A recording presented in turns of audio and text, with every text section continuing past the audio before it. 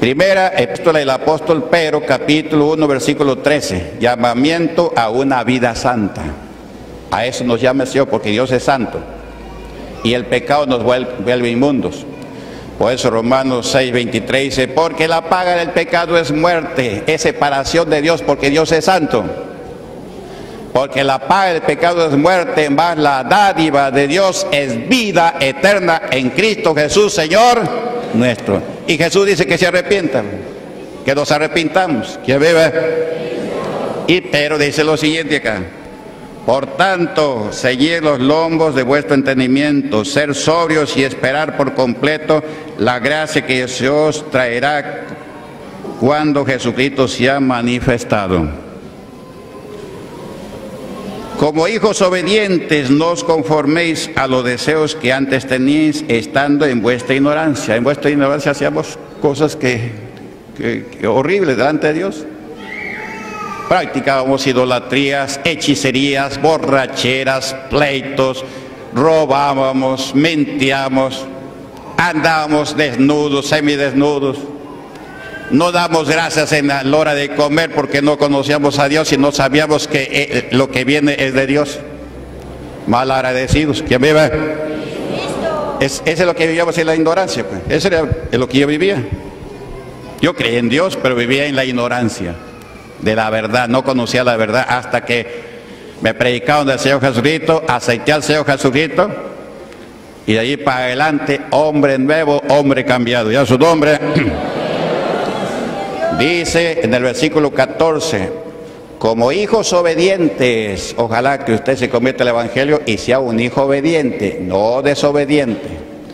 Y los que ya nos hemos convertido hay que seguir en la obediencia.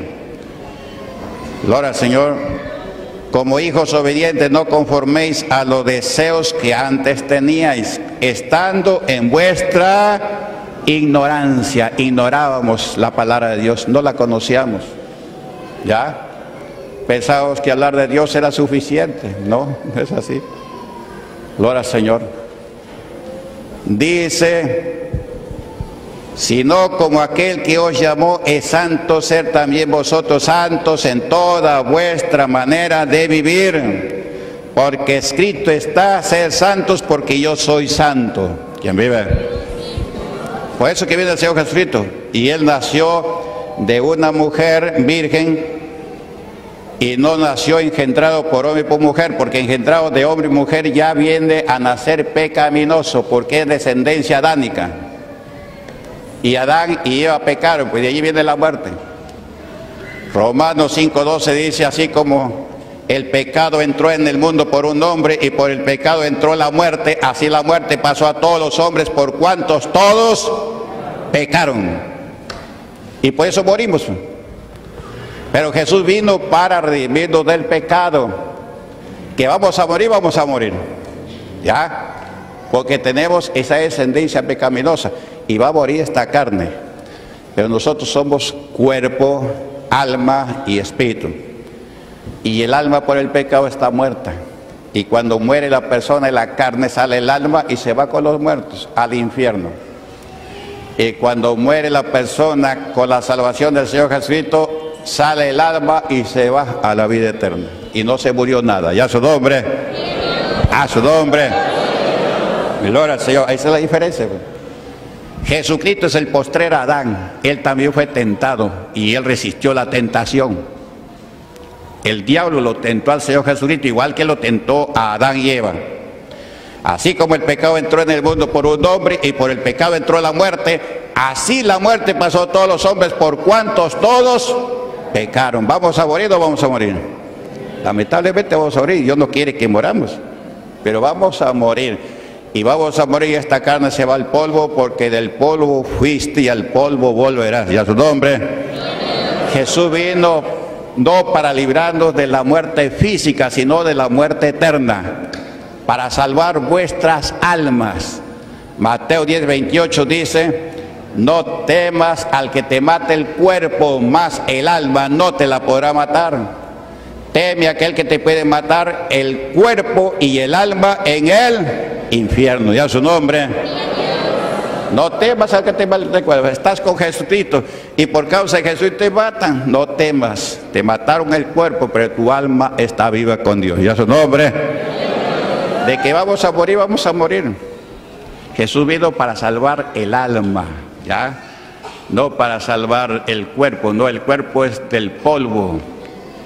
Y al polvo vamos a volver. Aleluya. Pero cuando aceptamos a Jesucristo, nace una nueva criatura a la imagen del que lo creó. Y la criatura anterior al polvo. ¿Quién vive? Se va al polvo, ¿por qué? porque murió y, pecó. Nosotros de los todos hemos pecado, dice la Biblia, todos. Por eso el salmista David cuando ora, él dice, en pecado me concibió mi madre y en pecado he nacido. Por eso que Jesús no nació de padre y madre, sino de una mujer virgen. Virgen quiere decir que nunca tuvo relación con un hombre. ¿Ya? Dice que, gloria al Señor, que el Espíritu Santo engendró en María. ¿Ya? Ella estaba desposada con José, todavía no estaban casados y vivían juntos, pero José no la tocaba como mujer porque era justo. Eso hace el justo. ¿Ya? Quiere casarse, no la toca como mujer hasta que se casa. Ese hace el justo. José era justo, pero no era salvo. Este problema. O sea, en otras palabras, era el mejor de aquellos tiempos, del pueblo de judío. ¿Ya? Para que sea salvo tiene que ser a través del Señor Jesucristo. Ningún hombre, ninguna mujer es salvo sin Jesucristo. Que José era justo, sí era justo. Temeroso de Dios, era temeroso de Dios. Que oraba a Dios, oraba a Dios. Que Dios le hablaba a él, Dios le hablaba a él. ¿Por qué le hablaba? Por sueños o por visiones. Porque aquí dice que Dios habla al hombre por sueños o por visiones. Usted de repente viene primera vez acá, todo sentado al Señor Jesucristo, pero Dios le está hablando por sueños. Pero usted no se da cuenta. Y a veces tiene sueños feísimos, después se cumplen. ¿Y por qué se cumple? Porque como usted no conoce la Biblia, no lee la Biblia, y en la Biblia dice, aleluya, el avisado ve venir el mal y se esconde, más los insensatos reciben el daño. ¿Cuánta gente que ha muerto en accidentes, ha muerto de una manera horrible? Antes de eso Dios le enseñó lo que iba a pasar, lo que el diablo quería hacer con esa persona. Pero como no lee la Biblia, se asustó de repente, pero ahí siguió. El que lee la Biblia y sabe de eso, tiene un sueño malo, inmediatamente dobla su rodilla, Señor, guárdame. Tu palabra dice, el avisado ve venir el mal y se esconde. Yo he soñado así, que va a venir un mal y yo me escondo en ti, Señor. Entonces ya no acontece nada. ¿Por qué? Porque el Señor pedir y se votará. Yo le pido que me guarde, Él me va a guardar, porque Él es poderoso para guardar. ¿Usted cree eso o no? Entonces ya no acontece. O si acontece, no va a pasar nada tampoco. Puede acontecer, pero no pasa nada. Ya su nombre. Gloria al Señor. Entonces así Dios avisa, pues. Dios te avisa. A José le hablaba por sueños.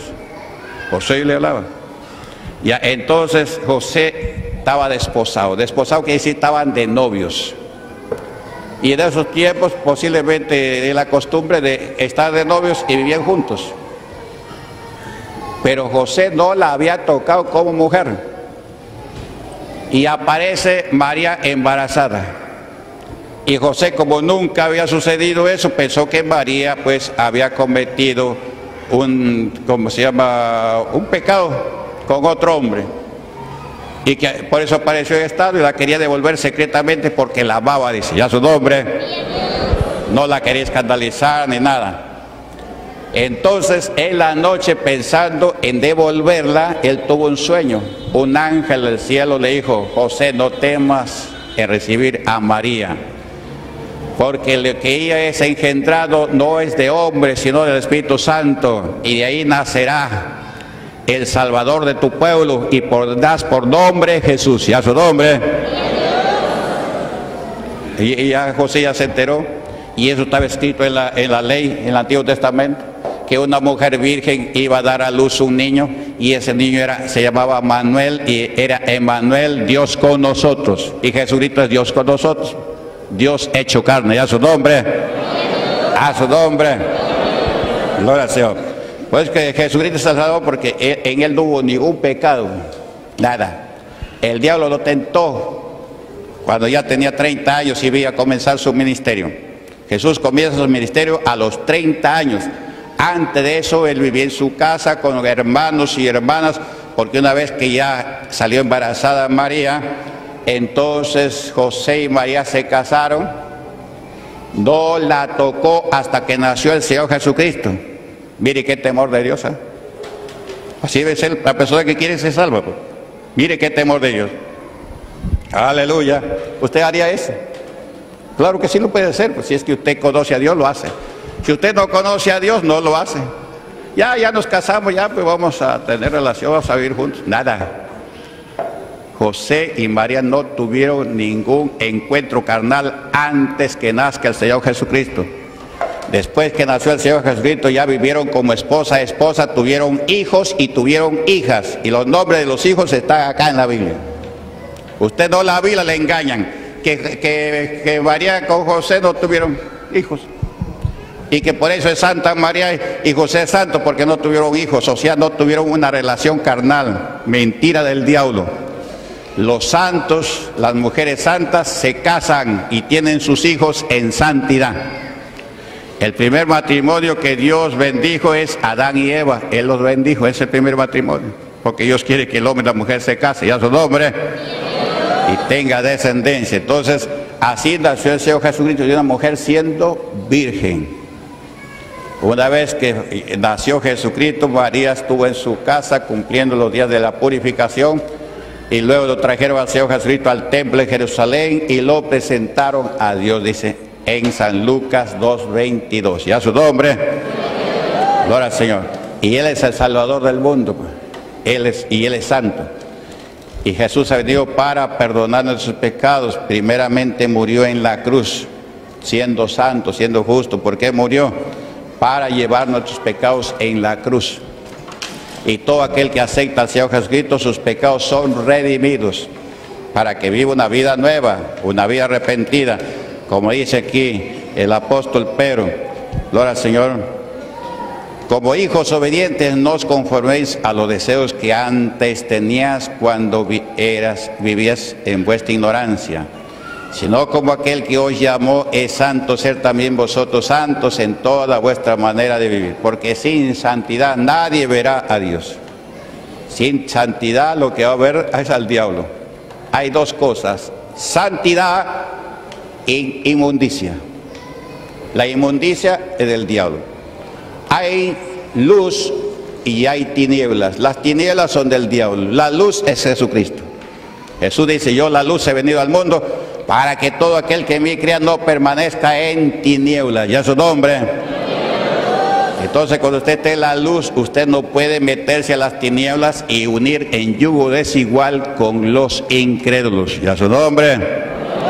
Por el incrédulo hay que orar y dar un buen testimonio para que ese incrédulo también venga a, los pies de Jesucristo. Gloria Señor, no hay que contaminarlo al incrédulo.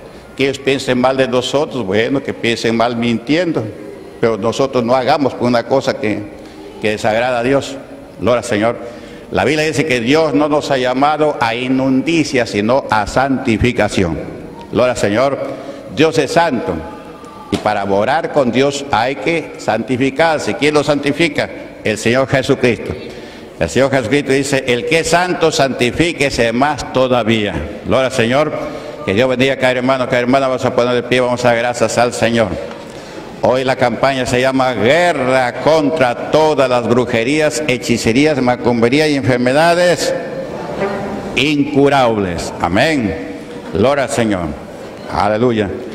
Vamos a levantar las manos, oremos. Comienza así, gloria, gloria, gloria, gloria a Dios. Glorioso Dios y Padre Celestial, mi alma te alaba, Señor. Gloria a Dios, gloria a Dios, gloria a Dios. He hablado tu palabra, Señor, que tu palabra no regrese vacía. Confirma, Señor, la bendición para todos en el nombre de Jesús. Gloria a Dios, rompe las cadenas, rompelas a todas, Señor. Cambia nuestras vidas, Señor, conforme a tu palabra, conforme a tu voluntad, Señor. Enséñanos a caminar en tu palabra, mi Dios, en el nombre de Jesús. Gloria, gloria, gloria a Dios. Gracias, Padre, gracias, Hijo, gracias, Espíritu Santo. Amén. Y amén. Todo amén, Señor Jesús. Gloria a Dios. Aleluya. Baja su mano. Yo quiero hacer una invitación a las personas que nos visitan, de repente todavía no ha aceptado al Señor Jesucristo y quiere aceptarlo, o de repente ya lo ha aceptado, pero usted sigue en el pecado, lo mismo que no hubiera aceptado. Acéptelo. Usted si sabe que está en pecado y quiere que le perdone al Señor, acéptelo. Venga Cristo Jesús y procure usted guardar la palabra de Dios. ¿Ya? Nazca de nuevo. Gloria al Señor. Si alguna persona quiere recibir al Señor Jesucristo, yo quiero hacer una oración por usted, levante la mano. Si es que hay alguien que quiera aceptar al Señor Jesús como su Salvador. Dios le bendiga, Dios le bendiga, Dios le bendiga. Cristo le ama. Él ha muerto por usted. Él llevó sus pecados y Él quiere que usted sea limpiado por la sangre de Él, creyendo en Él, por la fe. Más el justo por la fe vivirá. Pase aquí adelante, todos levantados la mano. Los oyentes de la radio que nos escuchan también quieren recibir al Señor Jesucristo eh, como su Salvador, bien hace. Desde aquí yo voy a orar por ustedes para que reciban al Salvador del mundo. Se llama Jesucristo. Gloria al Señor. Gloria a Dios. Pasen, pasen. Él está aquí con nosotros. Usted no lo ve. Yo tampoco, pero yo creo que Él está aquí. ¿Quién me ve? Porque Él está aquí. Pase, pase, solo el poder de Dios puede cambiar tus... La prueba yo te doy, Él me ha cambiado a mí. ¿No ves que soy feliz sirviéndole al Señor? Nueva criatura soy, nueva soy. Pase, pase, venga, venga. Reciba al Señor Jesucristo, dígale al Señor Jesús, perdóname, límpiame, lávame. Oración. Vamos ahora, la iglesia es una oración en espíritu. Levanta su mano para Dios, cierra tus ojos, cierra tus ojos. Diga conmigo, Señor mi Dios, Dios eterno y todopoderoso, te doy gracias en esta hora por la oportunidad que tú me das de escuchar tu palabra. Yo creo que tu palabra es verdad. Señor Jesucristo, yo te confieso con mis labios que tú eres el Señor y creo en mi corazón que Dios Padre te ha levantado de los muertos. Señor Jesucristo, límpiame de mis pecados, cuerpo, alma y espíritu y enséñame a vivir una vida recta delante de tu presencia. Ayúdame, Señor. Tu palabra dice que siete veces cae el justo, pero Jehová lo levantará. Gloria a Dios. Señor Jesús, que mi nombre quede escrito en el libro de la vida y mi vestimenta esté blanca y resplandeciente para el día de tu venida. Gracias Padre, gracias Hijo, gracias Espíritu Santo. Amén y amén. aplauso para el Señor Jesús. Gloria a Dios. Aleluya. El sembrador salió a sembrar la semilla. Ya sembré la semilla y está. Ahora sí, ojalá que todos sean en tierra fértil, haya caído la semilla. Gloria al Señor. Cayó en tierra fértil, te va. Usted se salva. Porque los que cayeron en tierra fértil se salvan. Dan fruto a ciento, a setenta y a treinta por uno. Comienza a dar fruto. Como una planta que se siembra. Y esa planta para que nazca tiene que morir lo que se sembró. Cristo dice, si el trigo que se siembra no muere, no va a dar fruto. Para que muera, para que dé fruto tiene que morir. ¿Es así o no? Usted siembra un grano de maíz para cosechar un poco más de maíz. Y ese maíz que sembró tiene que morir, podrirse, desaparecer. Y va a nacer el nuevo y va a comenzar a dar fruto. Eso es lo que nos dice el Señor para dar fruto para Dios, buen fruto, amén. Por su fruto se conoce el árbol. Pero usted siembra el maíz, después de un mes va y lo, lo y está el maíz buenecito. No ha, no ha nacido nada. No ha muerto. Y no va a dar fruto, sino el mismo grano de maíz va a estar ahí. Gloria al Señor. Pero si usted siembra maíz a los ocho días, de repente ya está naciendo. Porque ya el, grano que sembró ya se, ya, ya se pudrió, ya se murió. ¿Quién vive? Así también cuando aceptamos a Cristo tenemos que morir a la vida antigua, ¿ya? Si no morimos a la vida antigua es como el grano de maíz que usted lo siembra y no muere y no da fruto. Está sembrado, pues no da fruto nada. Ya su nombre. Así somos nosotros. El viejo hombre debe de morir y vivir el nuevo hombre, la nueva mujer conforme a la palabra de Dios y dar fruto para Dios.